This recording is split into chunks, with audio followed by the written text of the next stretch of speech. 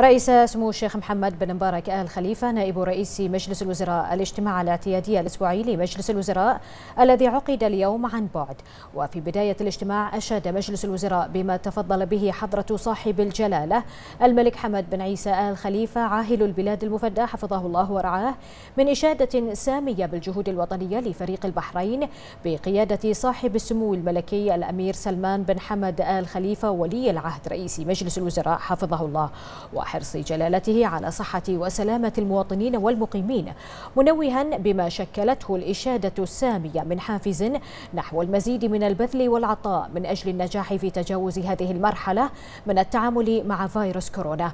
بعدها وجه مجلس الوزراء بالاستمرار وفق التوجيه الملكي السامي في تنفيذ المبادرات الداعمة لجهود الحد من انتشار فيروس كورونا التي يواجهها العالم أجمع والتعامل مع تداعياته وتعزيز الاستقرار الاقتصادي في مختلف القطاعات واستمرار نموه الإيجابي تحقيقا للمقاصد السامية بأن تكون صحة المواطن وتعزيز استقراره المعيشي في طليعة الأولويات الحكومية.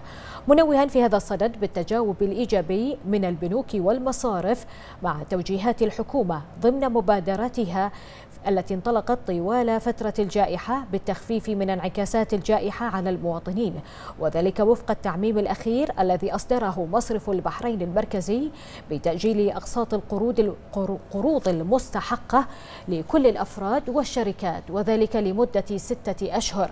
ثم رحب المجلس بإعادة انتخاب مملكة البحرين في المجلس التنفيذي لمنظمة السياحة العالمية. مؤكدا أن هذا الإنجاز يأتي ليعزز مكانة مملكة البحرين وإسهاماتها في تطوير القطاع السياحي. بعد ذلك أكد المجلس بمناسبة اليوم العالمي للبيئة حرص مملكة البحرين على تبني المبادرات التي تعزز حماية البيئة وتكرس ثقافة المحافظة عليها واستدامتها. ثم نظر المجلس في الموضوعات المدرجة على جدول أعماله وقرر ما يلي. الموافقة على المذكرات التالية واحد مذكرة اللجنة الوزارية للشؤون القانونية والتشريعية حول مذكرة سعادة وزير الشؤون الشباب والرياضة بشأن تقنين انتفاع الهيئات الخاصة العاملة في ميدان الشباب والرياضة بالأراضي الحكومية وتنظيم حقوق الانتفاع بها وتوحيد ملكيتها.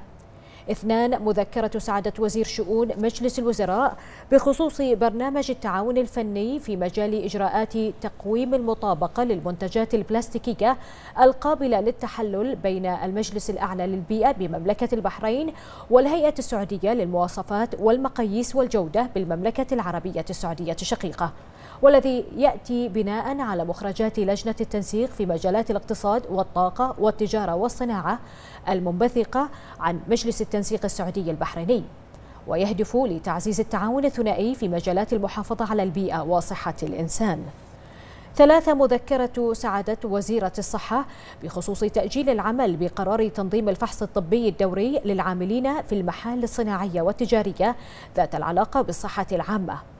أربعة مذكرة سعادة وزير الصناعة والتجارة والسياحة بشأن مذكرة تعاون بين الوزارة والهيئة السعودية للملكية الفكرية بالمملكة العربية السعودية الشقيقة في مجال الملكية الفكرية والتي جاءت بناء على مخرجات لجنة التنسيق في مجالات الاقتصاد والطاقة والتجارة والصناعة المنبثقة عن مجلس التنسيق السعودي البحريني.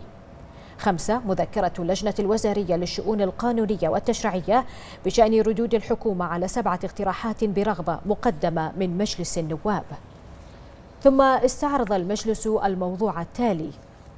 مذكرة اللجنة الوزارية للشؤون القانونية والتشريعية بشأن قانون تنظيم جمع المال للأغراض العامة ولائحته التنفيذية.